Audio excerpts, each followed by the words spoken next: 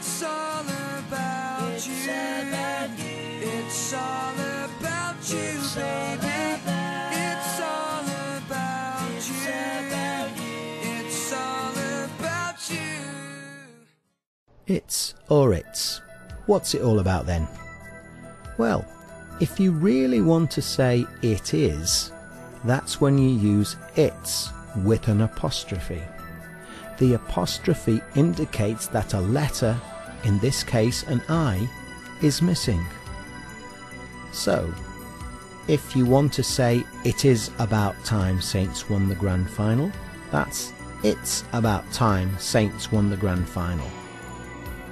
You might say, It is nice to look after your teachers.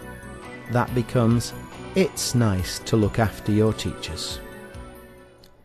The simple rule, though, is if you can't replace it's with it is in a sentence, then you use its, it's without any apostrophe.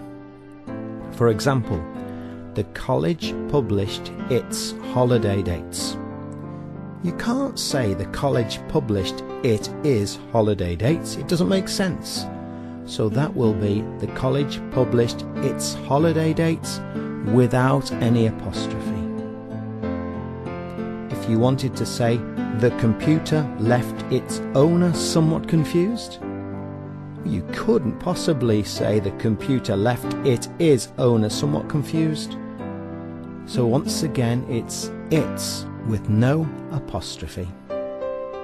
So, it's or it's. That's what it's all about. It's all about It's you. about you. It's all about you, baby.